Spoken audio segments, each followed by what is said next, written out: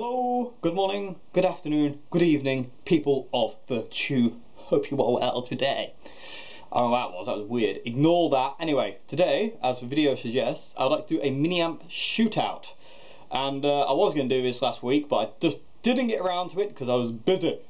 But now we are here, now I can do it, so all is well. So, what amps do I have? Follow me. Vroom.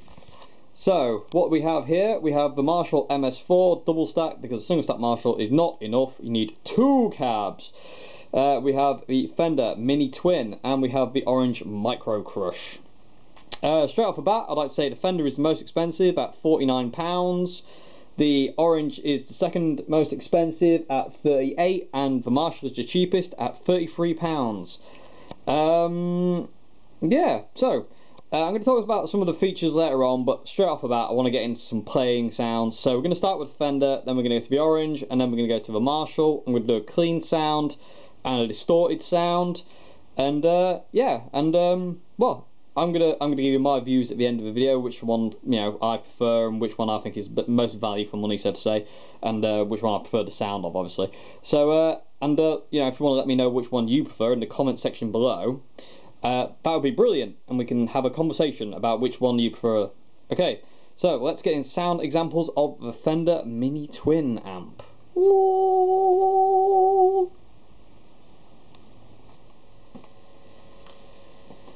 Okay, so this is the Fender Mini Twin amp. Just quickly before I start, uh, it has volume, tone and drive on the control panel. Uh, volume is on 12, tone is at 11 o'clock, and drive is about 8 o'clock. So this kind of gives you a clean sound like this. This is I'm using my uh, uh, Road Worn Strat for this as well. So this is the neck pickup.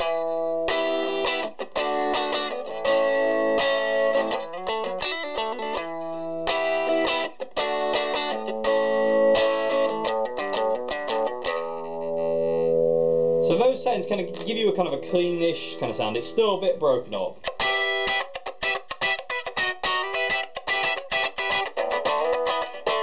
Almost.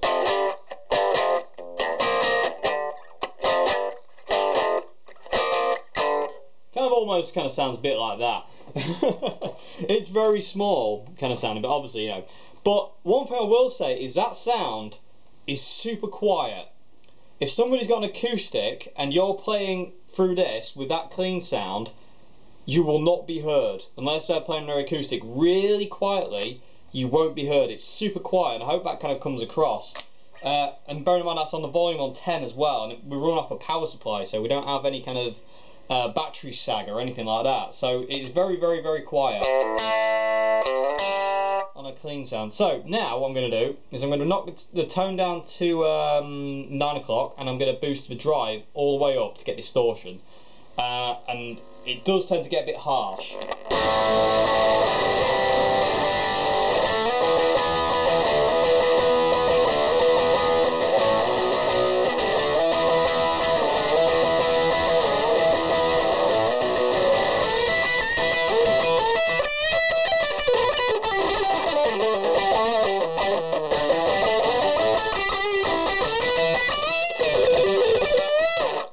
So it is pretty gnarly and it doesn't actually clean up on the volume control either, it kind of gives you this...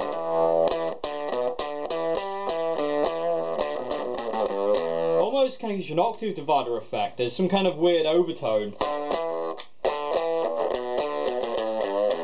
And it just sounds a bit, you know, bit, bit nothingy really when you kind of uh, roll the volume down. So it kind of it's kind of all it's kind of a clean or distortion amp really. You kind of can't have both really, unfortunately. So.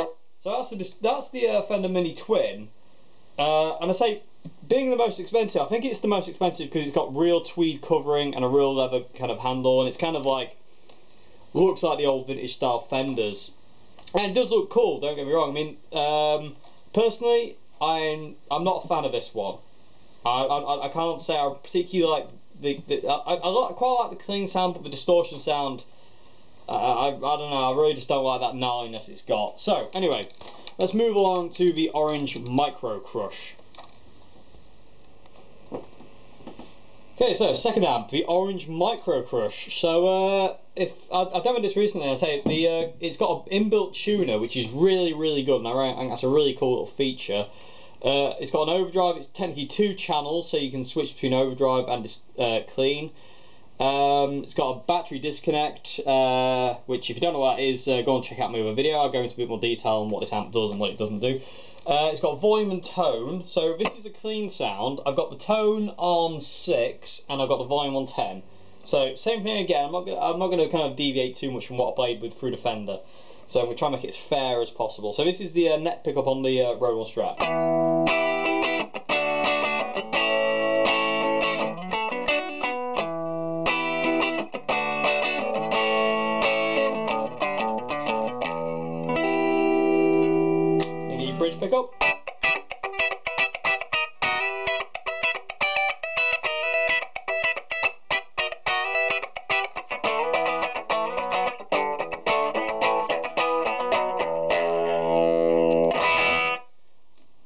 Bat, this is louder, like a smidgen louder than the Fender. Uh, I think you still might struggle if somebody's playing an acoustic quite loud to be heard with this. Um, but not as much I would say with the Fender. Uh, I think um, I think it's got the legs on the Fender a little bit more in volume than this this one definitely. And I say with the inbuilt tuner as well, and it's that, that's a really cool feature that is, especially if you're carrying it around. Um, so yeah, that's the clean sound. It's a really cool clean sound. I quite I like it. It's a bit. Alright, it's just a, just sounds just a bit nicer to me. So if I switch to the overdrive now, I'm going to lower the tone because I'm not a fan of gnarly distortions. So the tone's on zero now, volume is on 10, this is the overdrive sound.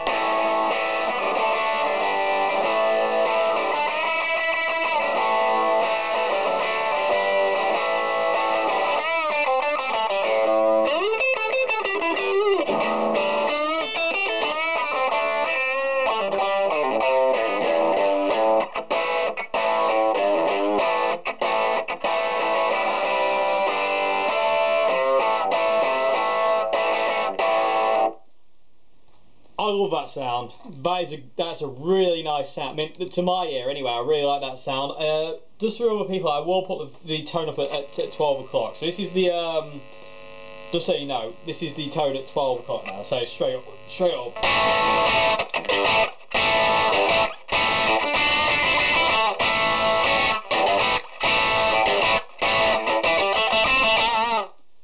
So it does get brighter, but I am not a big fan of bright distortion tones. So um, but I, I, do like the fact you can kind of switch channels. Uh, it's quite a cool little feature. I think if I if it was mine, I would just leave it on the overdrive channel all the time. And it kind of cleans up quite nicely as well. I mean, it goes really quiet, but it does kind of clean up.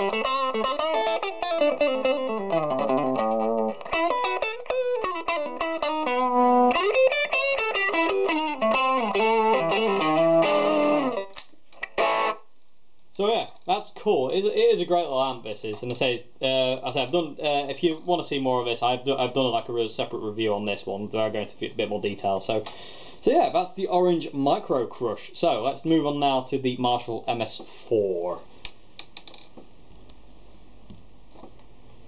Okay, so this is the Marshall MS4 double stack. Um, Got uh, feature wise, this is uh, gain, volume, and tone again, not too dissimilar to the Fender. It's kind of like a single channel amp, it's not got channel switching like the Orange.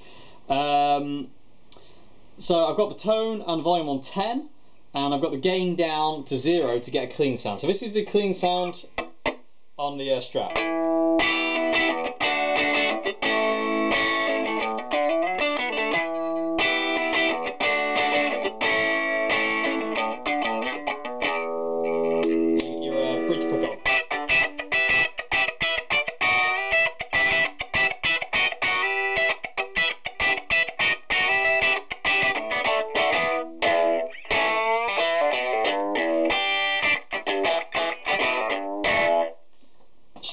Away this is the loudest out of all of them. It's it, this will this will play alongside an acoustic guitar, I would say easily. Um, it's definitely the loudest out of the two of them. Uh, yeah, it's definitely it's def definitely. It's got a lot, a lot, more a lot more oomph than the other two, so to say.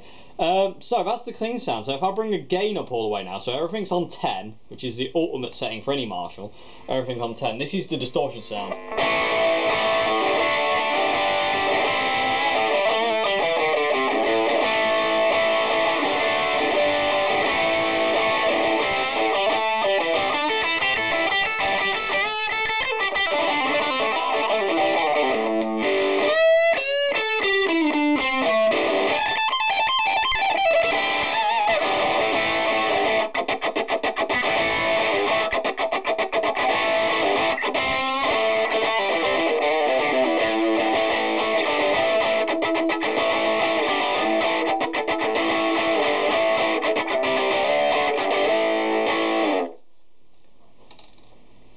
That's a very appealing sound to my ear. That is. That's a real. You know, it's a real kind of. It's the biggest sounding one out of the out of all of them as well. I mean, I know, it's, I know it's got speakers, but the Fender also has two speakers. The Orange doesn't, but the Orange speaker is actually bigger than these. Uh, so it, you know, um, but this is probably the most appealing kind of sound, and also it does clean up on that distortion channel, so you can get get clean. If you dial it straight out, you can roll your volume down and get clean.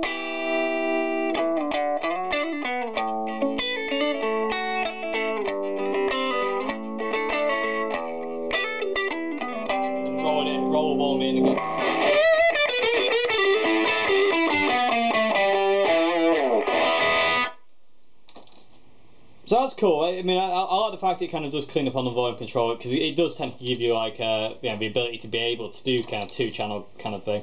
Um, my one problem with the Marshall would be it's plastic. It's the lightest one of them all, but being plastic, uh, don't I wouldn't drop it. Basically, it um, it's pretty hard and plastic. But I say, I mean, I don't, I don't, I wouldn't, I wouldn't trust it on like you know if you drop it on concrete from a, a certain height, then um, I think you might be picking up pieces of it for a long time. Um, that is my one kind of like issue with the Marshall is it. I think it it probably is fragile compared to the other two, which are kind of like you know wood housed uh, wood housed uh, amplifiers instead of plastic. So um, so yeah, I mean that, that that's the sounds of uh, all all three. So uh, I'm just going to talk about talk a few more features and just kind of give you my kind of um, kind of opinion on them all. So let's do that now. Okay, so um, I have reviewed the footage of these amps, and I say I've got to say uh, straight off the bat, the, the one I prefer the sound of is the orange. Uh, distortion and the clean sound, I prefer the orange amp definitely. It can just seem to have a bit more, um, a bit more warmth uh, compared to the Marshall, and especially compared to the Fender. The Fender was very, very harsh sounding. Uh, I did prefer the orange, definitely. Uh, Marshall was definitely kind of like um, kind of a second place for me. Kind of sounded really, really nice as well. Uh, the Fender was very, very, very last, unfortunately. I, I just don't like the sound of it. I, don't know. It's just something in it. It's, it's very weak. Amp is very, very quiet and very weak. It's to me the, the Fender amp is, is, is less of a mini practice amp and more kind of an ornament kind of thing to have. Like I, I bought it because um, I love the look of those old Fender Tweed amps, and uh, I did buy it originally to have a, a, little practice amp. That was the first one I actually bought, and then I found out it was like really kind of like quiet and weak and, and wouldn't play anything else like over anything. I, I, that was when I went and bought the Marshall just because it had more volume. Um, so out of all all three, I did prefer the sound of the orange. Um, Volume wise, if you're after a loud amp, you want to be going for the Marshall. The Marshall is the loudest out of all three. It's got the most kind of poke, so to say. It, it, it will play over um, an acoustic guitar and other people kind of talking. It is definitely the loudest and it will work uh, very nicely in the kind of situation like that. I think the Orange might struggle a little bit. It is fairly quiet, um, it, but I think it might struggle a little bit, but I think it might just it might just cut through. Uh, maybe I'm, I'm not 100% sure. I haven't I ain't tested that or anything. I've tested the Marshall. Uh, again, I've, I've played uh, many times in, in, in the back garden uh, with uh, where I, I, played against an acoustic guitar, somebody playing acoustic guitar and a cajon, and it went over the top of them. So it kind of um, so it is loud for that. The orange I think might struggle. The Fender you've, you've got no chance. It's just something about the the frequency it runs at, uh, the, the sound runs at, is very very weak, and it just kind of like just disappears into the atmosphere. It's it's very very kind of very kind of weak. Uh, value for money wise, um, the Marshall thirty three pound and the Orange thirty eight, and the Fender being forty nine, technically fifty quid. The Fender is the least value for money. Yes, it's got real tweed. Yes, it's got a real leather handle, but it's just really there for show. You, you, you can use it and get kind of a usable sound out of it. I mean, I'd say some people might really like the sound it had. Um, I say, I mean, I can only talk from my, my perspective and my opinion. Um, I say that's what the comment section is for. Let me know what you think. Um, but um, my opinion, I reckon the, the, the Fender amp is is well overpriced for what it is. It's it's not really you know you're buying the tweed and the leather. It, it, it, it, I don't know. It's not really a usable amp in my opinion. I just don't think it is. The orange and the Marshall are usable. Uh, you could, I reckon, they would sound brilliant on recordings if you're after like a real kind of like cutting guitar sound or a real different guitar sound if you were recording like a song. Why not use one of them? I think it would absolutely be brilliant. I think it would sit in the mix really nicely as well. I think it would be really cool. Um, build wise, the Fender and the Orange are probably built the best out of all three. Uh, the Marshall is built well, but being plastic, it's you do get the idea. If you drop it, that's it. It's gone. You've had it. But I mean, that's thirty-three pounds. I mean, I, I forget. I, I, I say I really apologize. I don't know what that is in dollars or, or, or, or euros or, or, or whatever currency uh, it is where you where you're from. But um, I, I, I, do feel £33 it's not going to break bank if you did drop it and break it and, and go after it and bat another one. The same thing with the Orange as well. I feel the Orange would hack a bit more punishment than the Marshall, especially if it dropped from a certain height onto a hard surface. I think it. I don't think it would like you know obliterate into a million pieces like I feel the Marshall might be kind of like plastic. Uh, plus also the the Orange is a wood housing with the orange Tolex over it, which gives it extra extra uh, strength as well. Whereas the the Marshall is literally just, you know, all plastic. The fender is built really well. I mean, I think if you could drop that from a great height, it probably wouldn't, it probably wouldn't damage it really, because that's, you know, it's got the tweed wrap and it is, it is wood and it is very good wood as well. I've had it apart and looked inside. It is very, very good wood. I mean, but I feel that's where the the money went in the fender. Um, so if you were to get, if if I was to pick one, I would have the orange. Um, just for us for sound, but I would like the orange to have a bit more volume like the Marshall. Uh, I love the sound of the Marshall, but the the orange has is a bit darker, but I don't know. It's kind of a toss between the Marshall and orange, uh, the Marshall and the orange for me. But I think overall, I think I would probably definitely have the uh, the over the orange. I, that's, that's prefer the tonality and the and the sound of it in general. Um, but it is very close between the Marshall and and and, the uh, the Orange Amp. Uh, The Fender's, not not really for me. Um, it's just kind of a, a, sit there and look pretty kind of novelty thing, so to say, really. Uh, whereas these two aren't really novelty. Uh, you could say like you know, thirty-eight pounds. That's that's more expensive than this. Yes, it is more expensive, but for the for, that extra couple of quid, you get an inbuilt tuner. You know, and you know, think how much tuners are. You can get like you know you know, re really good tuners are really expensive, and say this is a really good tuner built in, so you're getting kind of that extra feature. So that's kind of like it's worth the extra, like you know, five, six quid or whatever it is, just to kind of have that extra feature and also channel switching and and um, and you know, come up with some of the other things really. Uh, so yeah, hope um, so. That's about that's kind of like my little my jabberings on really. So um, so yeah, I mean, I hope, I hope you enjoyed this video and. Uh, hope it's been informative, and I hope if you have to kind of like you know a, a mini amp, hope this has kind of helped you out, maybe kind of like you know decide on, on what you might want. So, clappy claps. I will see you tomorrow, hopefully, for another video. Uh, have a great day, have a great evening, have a great afternoon, uh, depending on where you are in the world. I will see you again tomorrow. Goodbye now. See you again.